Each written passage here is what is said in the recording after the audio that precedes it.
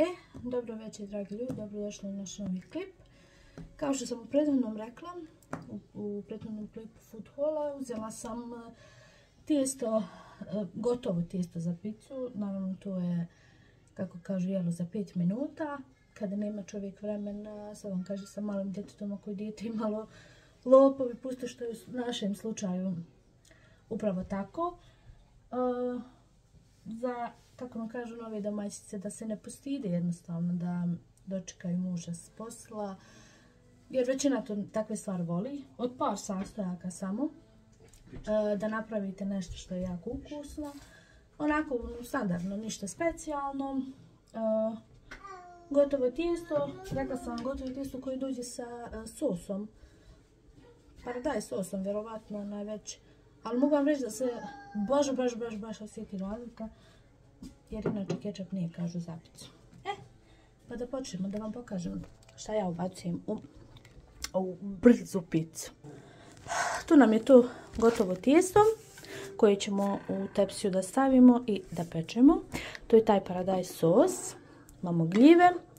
Kako se zove ona iz konzerve gljive jer ne volim ja stavljati friške gljive jer one mi popuste toliko soka da preuzme kompletan ukus e, pice mozzarella rendani sir, salama u ovom slučaju, može biti šunka, može biti suho meso, zavisi ko šta voli trenutno u ovom momentu, ja samo imam suho meso i salamu, ali pošto nećemo da miksamo, da nam ne bi bilo previše slano, ubacit ćemo samo salamu.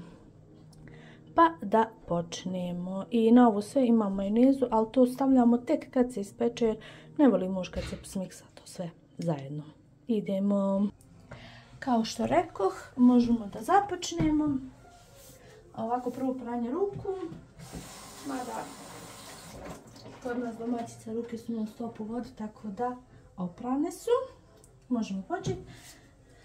Razmotajemo tijesto koje je, mogu vam reći, jako ukusno i apsolutno čak vam mogu reći da je ukusnije nego i domaće tijesto.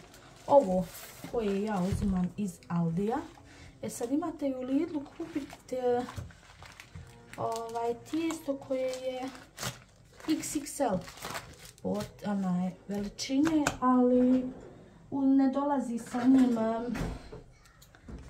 ovaj sos, tako da ako nemate sos, sos, dobar sos za picu, bolje kupiti, vjerujte mi, ovako. E, ovo ubacimo ovako sa papirom, što je jako praktično. Kažem, ide jako brzo, tako da na sve dodate sos koji morate promučkati prethodno. E, ja istresam sve. Nekome je previše, nekome nije. Ali ja sve istresam jer meni iskreno pizza bez ovog sosa što dođe. Jer on u sebi ima nešto, neki miks. Nije običan paradaj sos. Ali vam ne bi znala tačno reći šta je kašikom razmazat. I sad je fazom slaganja onako kako vi to preferirate. Mi nikad nemamo određeno iskreno. Nekad ovako, nekad onako, nekad ubacimo ekstra sastojaka, nekad čisto osnovno u ovom slučaju, ali bože moj. E, to tako. A i znate, ko ima djecu, djeca vole ovakve stvari, djeci daj samo pomfrita, časti su zecima naravno, daj picu i oni su zadovoljni. E, tako. Sad, moj postupak je redam salamu. Redam je tako da mi nema prostora nigdje. Znači sve da mi prekrije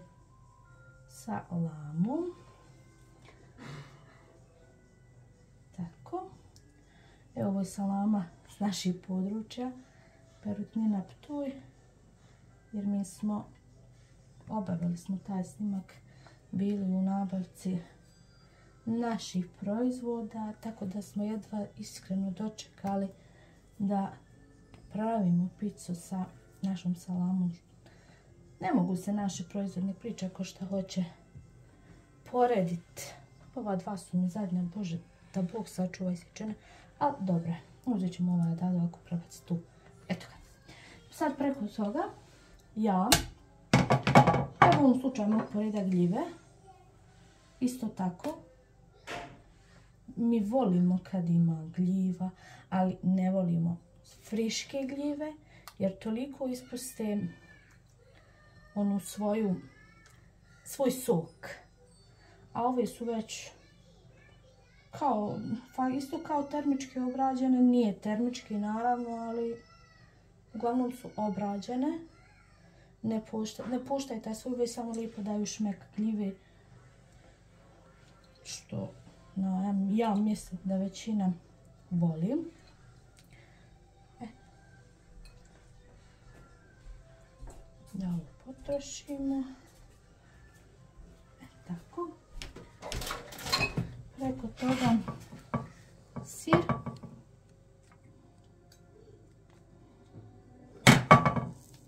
Neko to voli previše, neko, pa ćemo vidjeti prilike.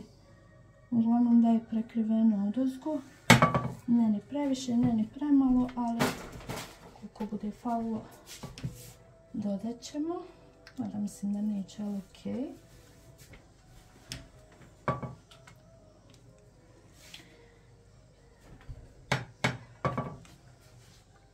Neće faliti, bit će dovoljno.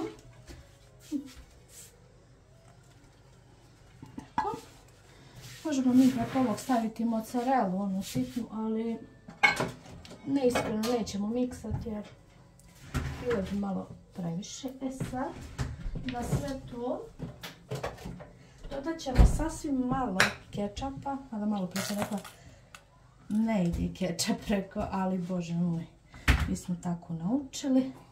Na sve to posut origana, neko voli više, neko manje, mi eto da se šmeko osjećuje šta je italijanska kuhinja bez origana. Iskreno, pasta bez origana, ja lično. A pravit ćemo i makarone sa četiri sira koje ja praktikujem, koje, se svima svidjele pa ćemo vidjeti. E, to bi bilo to što se tiče pice. Sad ćemo je staviti na pečenje. Pečenje, pardon. ja sam svoju električnu uključila na nekih 200 stupnja, pošto mi je električna malo malčice slabija, ali evo povećat ćemo nekih 220, to je prilike nekih 200 na pečnicama koje su jače. I javim vam se kad se ispeče. Prijatno. Peče se, peče. E, gotovo je. Da vidimo. Vrelo, vrelo, vrelo. Opa. E. Ćemo uzeti nož. Mm, boga mi. Sjekač za picu. Jedan. Vidimo sunca.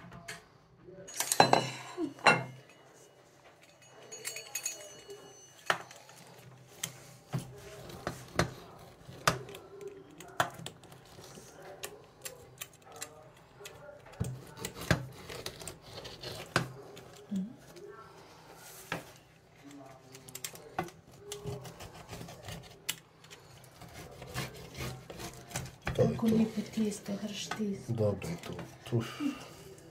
Još samo jedno da ponovim. Ono mi lakše za izvadit. Da vam pokažemo. E. Jedan komad izvadim. Maja na, na, na tanjir. Prilike samo da se vidi kako to izgleda.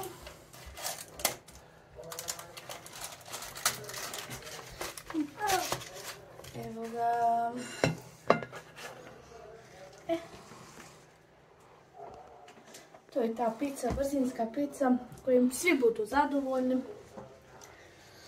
Ovaj, znači toliko, prijatno. I vidimo se ako Bog da u sljedećem klipu. Ćao!